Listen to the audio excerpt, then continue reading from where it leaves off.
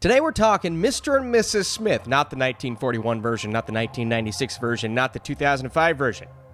This this one. What's up, Flick fans? Welcome back to the channel. Mr. and Mrs. Smith. Every episode is dropping on Amazon this weekend. That's different. They usually do it week to week, but uh, I want to talk about this series. No spoilers, of course. We may come back and do that. I'm Jane. I'm John. Two strangers land jobs with a spy agency that offers them a life of espionage, wealth, and travel. The catch new identities and an arranged marriage. Can it work? Will they make it work? Donald Glover, at least he's the star. Well, actually, he and Maya Erskine, they're the stars. He is John, she is Jane. Together, they are Mr. and Mrs. Smith. Glover also has a hand behind the scenes, and anytime he's a writer or a director or anything like that, you know it's got potential to be good, and I won't lie to you. This first episode got started in a really compelling way.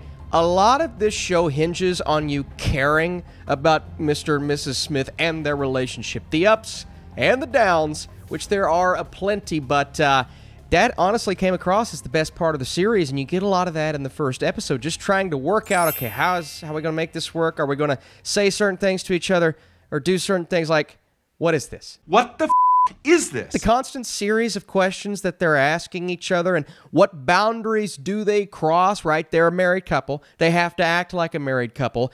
And these are things that we know from the 2005 movie. Now, it's handled in a very different way, and that film really honed in on the action. I would say this one's more about the relationship. I found this show to be more compelling when we're at home with our characters and they're just trying to trying to figure things out and they're talking to each other in a way that feels supernatural instead not supernatural supernatural difference but yeah you get a married couple on screen even though it was kind of an arranged marriage you want to relate to that in the best way and it's just kind of like being there with them on the couch in the midst of them struggling with this relationship. And it actually goes in the way that you expect a relationship like this to go. It all starts out peachy, everything's good. Once they learn a little bit about each other, can they cross certain boundaries? But we also have to focus on the mission or series of missions that they're going on to get that ultimate prize, right? Uh, but as we go, the more they discover and the more they start to bicker,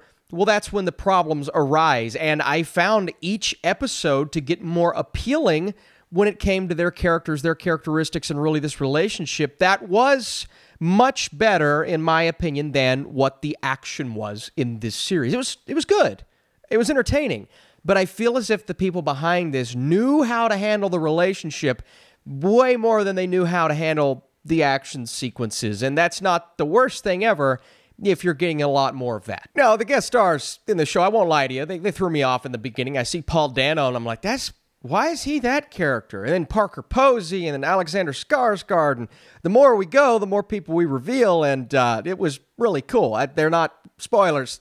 It's on IMDb. Another thing is when the show tries to be overly comedic, there's like bits and gags that are still handled in a in a calm and collected way, but that's when the humor started to fall off for me. And I know that sounds bad, but thankfully the show doesn't do that all that often. It's more so the natural type of comedy, just an inside joke type of thing where we are there with them, and a lot of it comes down to the chemistry, man.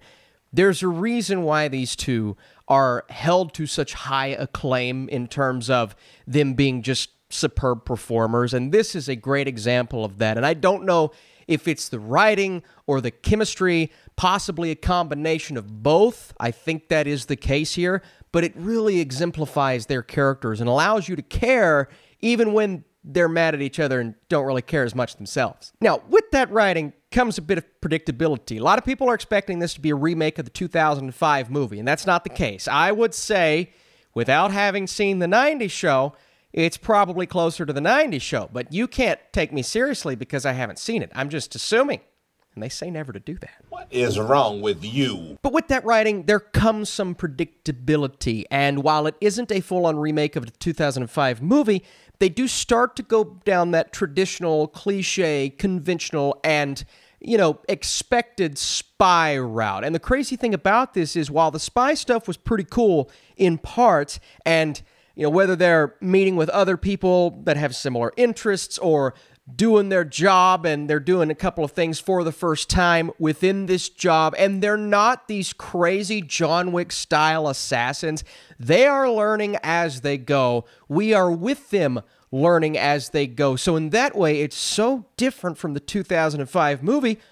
But there are other beats from said film that do happen in this one that do make it somewhat predictable. So, very different, but kind of the same. Does that make sense? We don't care. Let me tell, right, let me tell you We don't care. So it's easy, a bit gimmicky at times. Every episode is like this case of the week. So if you're into those types of dramas, you'll really enjoy it. But I was enjoying this because of the chemistry between our two leads and the cameos, or performances. I guess they're not really cameos, but those were cool. That said, anytime we end up with our two characters just holding a conversation while doing spy stuff, that ends up being uh, my favorite part. And the fact that Amazon's releasing it all at once tells me that uh, you may binge this. I don't know if I would. It may become slightly repetitive in that way. That's what I did, and I kind of found that throughout. But it's still entertaining, and this is a this is an easy show to watch and be entertained by, with some really slick writing and great performances. Like I keep saying, over and over. Before I give you my score, let me know down below. Are you watching Mr. and Mrs. Smith this weekend, the movie or this series? And uh, dropping a like would be cool, maybe. Surprisingly enough, the relationship drama works much better than the action itself. Whether it is the chemistry, the writing, or a combination of both, there is so much to love about our leads. The final product is conventional but comforting and entertaining. I was entertained. This is a nice show to watch on Amazon. Let me know if you're doing it down below. And uh, okay, what else? I've got more reviews coming.